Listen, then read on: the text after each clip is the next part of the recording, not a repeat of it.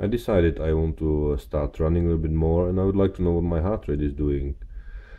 So after researching this, uh, I tried uh, pretty much all of these uh, bands on the market on my on my hand and um, Adidas Me miCoach uh, FitSmart definitely uh, fitted the best on, on my wrist.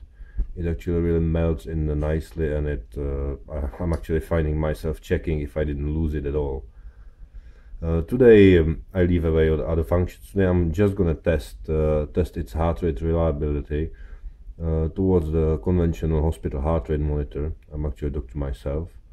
So after I attach this on my wrist, not too tight, it's actually really comfortable. I'm gonna start it on the put it on the free mode, and first I'm gonna check uh, how quickly it's gonna pick up, and if it's uh, gonna be the same for the resting heart rate.